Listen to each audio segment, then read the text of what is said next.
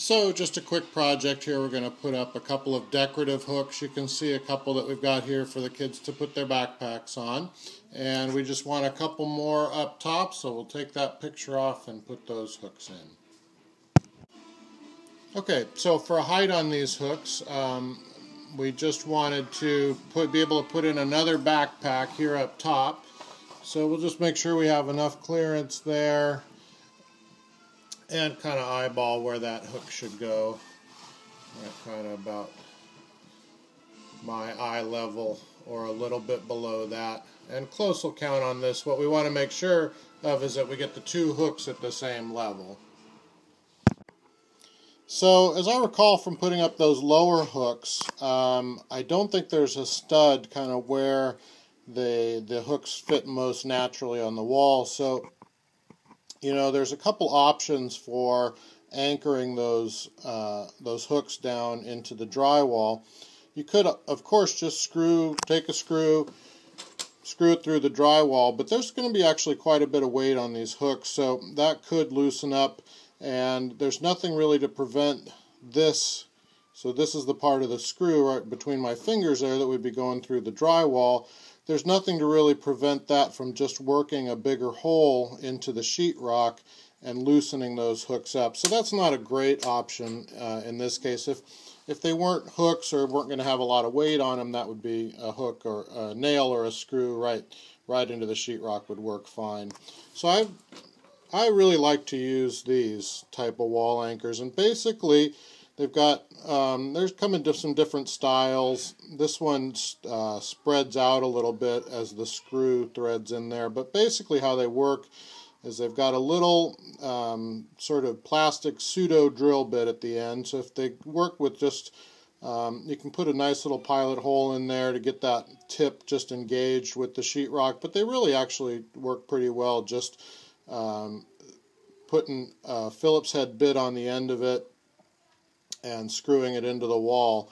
And then as, as the this sort of opens up the right size hole for these threads that will um, pretty securely fasten this to the sheetrock and then you can screw your screw into the middle of the plastic portion there. So um, that's a really nice option and it works a lot slicker than the old style toggle bolts which work really well to anchor um, things to sheetrock as well. They're just uh, a little more complicated to use. You have to drill a little bigger hole to get them started. So what you do here is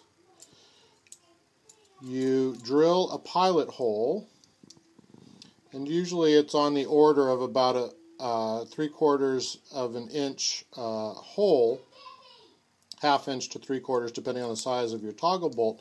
You fold these in and push this all the way through that hole you've drilled through the through the sheetrock. And then when it gets through that hole these spring open. And then as you pull back these little sharp edges here catch on the back side of your sheetrock.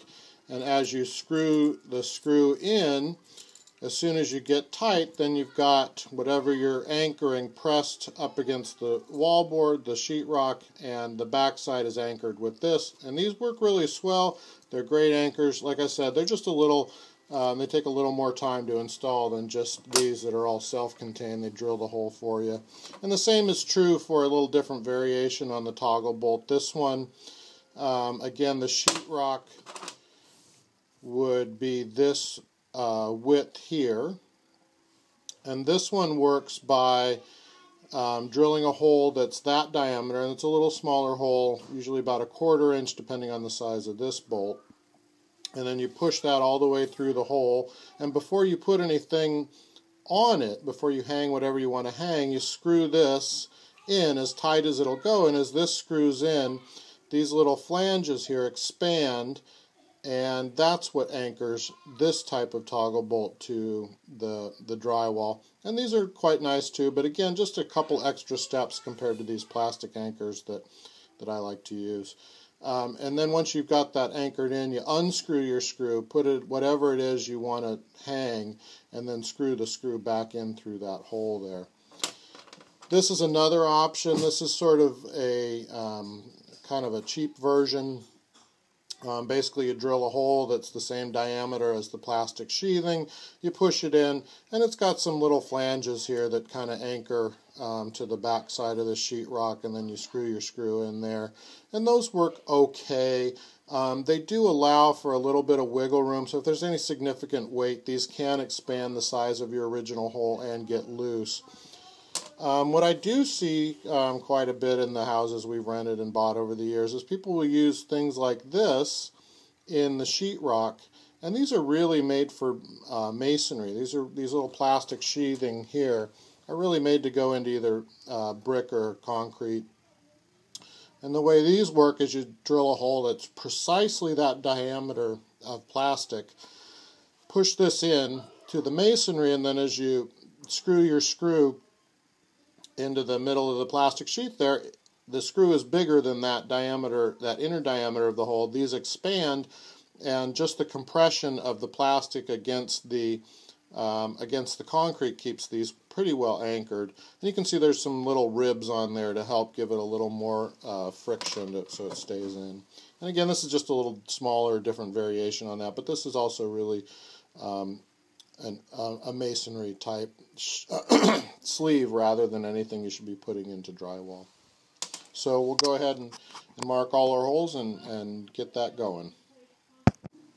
So the way I'm going to mark the horizontal location of these uh, new uh, upper hooks up here is to actually use a level. And I'm going to use the plumb bob, the on my level there. That's the one that is oriented horizontal as I and as I turn the level to not plumb, you can see that bubble moves off from in between those two lines. As that bubble floats in between those two lines, that is now plumb. And as long as my wall over here is plumb, that's going to look very nice and symmetric as compared to the, you can hear the family in the background there, as compared to the lower hook. The other way you could do this is just measure from that wall to the edge of that hook down there. And as you come up, measure from that wall to the edge of the hook there. That will also put the hook in the same uh, vertical uh, line on the wall. And then you can do the same from that door jamb over there for measuring for that hook. But I think the level is a nice, quick, easy way to do that. Lets me mark it. But I'll need both hands to do that, so I'm going to go ahead and pause this. So here all I've done is I've marked two holes where the, the screw holes go for that hook. And I've actually went ahead and put one screw in the wall here. And that's actually a handy little trick uh, that I've learned um, since using these uh, little plastic screw-in anchors. It's really a, a, a, neat idea to just screw, mark your hole wherever it's going to go, put the screw that you're going to use in. And that does two things for you. It does make a nice little pilot hole, um, to get that tip of that plastic anchor started. And the other thing it does is if you do happen to be on a stud and you try to put that plastic anchor in, it's going to make a big hole here and not go in because the plastic's not going to drill through that, that stud behind the drywall. So if you put in the screw first and you have a stud back there, then you don't need the plastic wall anchor and you can just take the screw out, mount whatever you're going to mount, and then put the screw back in and you'll be in the stud and it'll be nice and secure.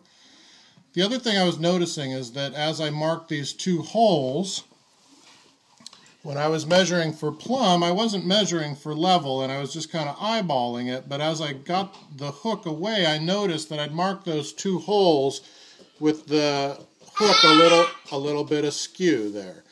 So before I drill that second hole there, oops, in that pencil mark right there, I want to take my torpedo level and I want to check it for level there.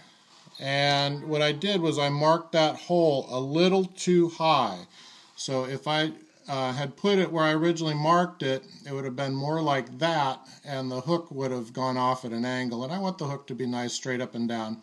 So I will um, just eyeball how much I need to drop down from my original mark when this is level with the other screw and we'll just drop it down there put the other screw in as a pilot hole uh, for our wall anchor take both the screws out and put those wall anchors in So there I've gone ahead and put that second screw in. You can see a little mark above it where the uh, drill slipped off at one point. But I just wanted to show you this.